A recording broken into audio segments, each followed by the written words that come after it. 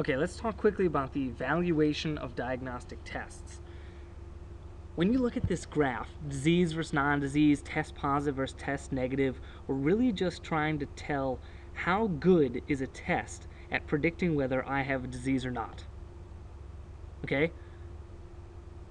It's not anything to do with truly me having the disease or not, and what what the odds of me getting the disease, nada nada. People get very confused over this. It's really just about how good is this test at telling me whether I have my disease or not. Doc, you told me that I have a positive test result. Well, how accurate is that? Okay, I want to know how sensitive that is. That's what that means. How accurate is my true test result? How sensitive is it, in other words, okay? Um, if you want to increase the number of true positives, that means we're increasing the number of times that our test came out positive in the patients who had diseases. Okay, so when you look at this graph, little A, B, C, and, uh, C, and D, okay, we have diseased with positive test. That's a good thing. I want my test to tell me that I had the disease if I have the disease. Okay, so my test was positive. I had the disease. Fine. I don't want to go home wondering maybe it's negative. Maybe I shouldn't tell my wife that I have it because maybe it wasn't as sensitive as I wanted it to be. Okay? We want a highly sensitive test um, to be sure that that test result, when it came out positive, that means I have this disease. Okay? So a true positive means you have the disease and the test came out positive. A false positive is mean uh, is meaning that the test came out positive, but I don't have the disease. That's a false positive.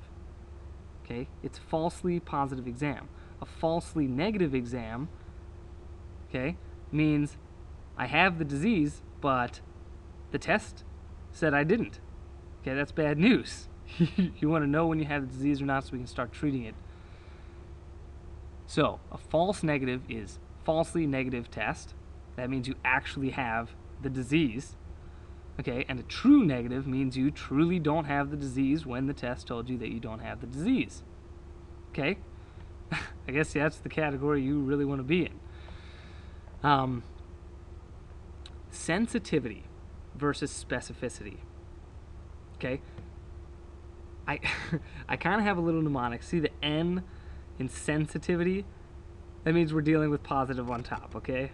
It, it's counterintuitive. I, I always look for little mnemonics that this N should tell me that I'm going to work with a negative number. It doesn't. It's counterintuitive, so the N means I'm going to work with a positive number. It's not a negative number, it's a positive. Okay? The sp, the P in specificity means I'm going to work with the negative on top, okay? So I just kind of switch the, you know, I just know that it's counterintuitive to my stupid little mnemonic. Uh, that might be very confusing to you, but that's the way it works for me, and now it might stick with you. Sensitivity. How sensitive is this test? It's telling me that the number of people who have the disease and that were told they have the disease by this exam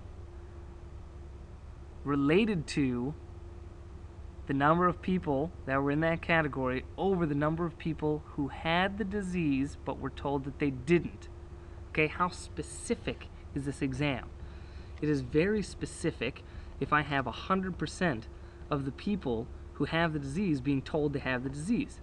Awesomely specific. Okay, that's exactly what you want.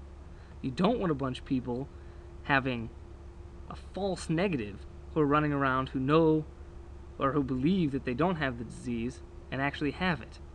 Okay? This is a very sensitive exam. If you have the disease, it's picking it up right away.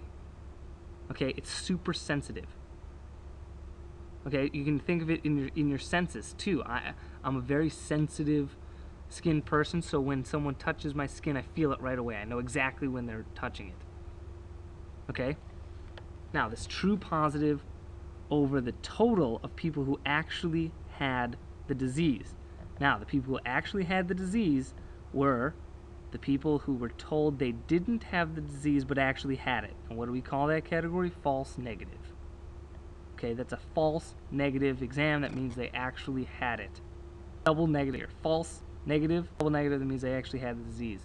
So you're adding the people who have the disease and were told they had the disease over the people who had the disease and were told they didn't have the disease. Okay, these are all people who have the disease are in the sensitivity. So all you have to know is how sensitive is it? I want to know the people who were told they had the disease and have it over all the people that had it. Okay, how sensitive was it in picking out that from all the people that had the disease? I think my mouth is going to go numb from saying the word disease.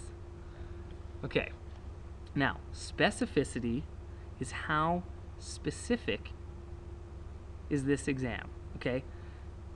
You're going to see the number of true negatives over all the people who didn't have the disease.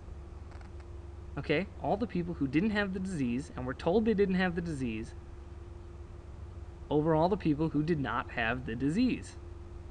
Okay? So this is true negatives. This is the number of people who had a negative test result and actually didn't have the disease over the number of people who truly didn't have the disease. Okay? How specific was this negative test result to this disease? Okay? That's truly all that you have to know. That's it. Okay, so sensitivity is all the people with the disease. And you just know that you want to know how many people actually got a positive test result out of all the people who had the disease. So it's just going to be true positives over true positive plus false negative. Specificity, true negative over all the people who didn't have the disease. So it's true negative over true negative plus false positive. Okay, I feel that this these A plus A and C and D, B, it just it, it it's easy to get confused there unless you write it you know down when you're looking at the board um, and they don't goof around on the exam with with maybe they put the non-disease in the first column and then the disease in the second column or the negative test result on top and the positive on bottom. I mean they'll do all sorts of stuff to mess you up on an exam uh, if you're just following this A B C D pattern okay? It's kind of a cop-out. You really want to understand what's going on here. Um,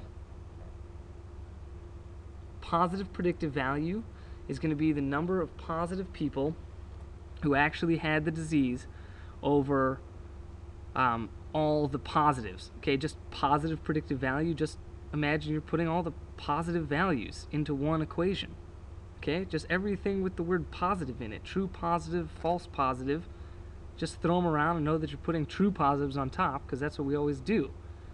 Okay, true positive on top here, true true positive and sensitivity on top, true positive in the top of positive predictive value.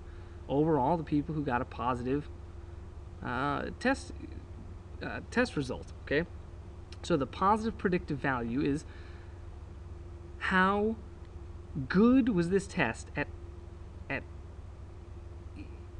okay when when when you had a test result that was positive how good at it was how good was it at telling you that you actually had the disease okay? How many of those people actually had the disease when they were told they had the disease? Okay you want that. You want a higher number of people with a positive test result if they actually had the disease okay so we want to have a high positive predictive value the more people in a population that have the disease, you're going to increase your positive predictive value. Okay, because it's better odds that those people have the disease. Okay, just out of an example, if you want to um, go to Africa and do a, a, a, see how the positive predictive value is for malaria test, you're definitely going to have a higher positive predictive value because just by odds, you're going to have better chances of having a patient with malaria who actually had a positive malaria test. Okay, you're not going to write that off. Maybe if you're, you know, in out in Wyoming and you have a patient who has malaria, uh, positive test, you might go for a second, you know, a second opinion, um, or at least do the test again and make sure if they hadn't been traveling outside of the country. Okay, negative predictive value, exactly the same thing. How good is this test at predicting um, that the patient actually didn't have the disease when it said he didn't have the disease? Okay, you don't want a bunch of people running around with negative uh, AIDS test and showing all their friends that they had a negative AIDS test when they actually have AIDS. Okay, you don't want that situation.